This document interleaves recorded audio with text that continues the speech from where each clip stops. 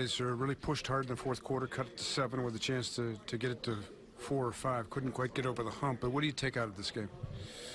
Um, I'll say fast break points. Uh, I think that we will have to figure it out. And um, we play really hard. And uh, even though we was like down by 15, 16, we uh, we keep playing. Uh, we, we play really hard. I mean, uh, our half court defense was good, but uh, we're gonna have to figure it out. Uh, the fast break defense, and you know, it's a first game. It's a new team. it's a challenge for us. So it's a long season, first game. You know, now we're gonna take our we're gonna do a video, see how what what, what was our mistakes, and we're gonna keep going. I think that we we have a really good team, talented team. We're gonna just have to figure out to play uh, fast break defense and also to trust uh, each other defensively and offensively.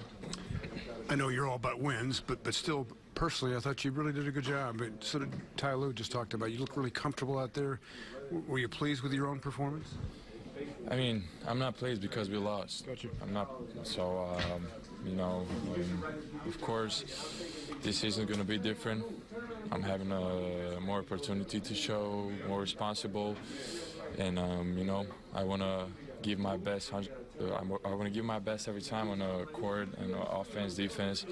So, you know, I was. I have a confidence. You know, I know how to play. So I just have to keep building my uh, game taking the results out of it, Cedi, is how you were used offensively. Is that kind of what you envisioned coming into the season? Yeah, definitely it is. Um, so, you know, it's good that um, they give me this opportunity and I can show the people actually that I'm not just a defensive player, but I can play also in offense. And, uh, you know, I can create for myself and for my teammates. So, uh, you know, uh, I can do I'm like I'm all around player. I'm I was saying this all the time. So.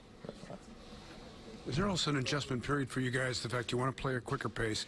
You knew as a group you had to get in better shape, which you did. But now you play a regular season game and you got to find it. You got to even continue to work on the conditioning as a group. Yeah, of course, of course. Sometimes uh, even if we try to play fast, we made a couple mistakes, which is uh, normal. But uh, you know, playing fast and uh, playing in hurry is, is, not the same thing. So we have to play fast but smart. Uh, of course, we're going to take some early shots, which is normal, but we have to be uh, smarter when we running fast. Thanks, Cedi. Yeah.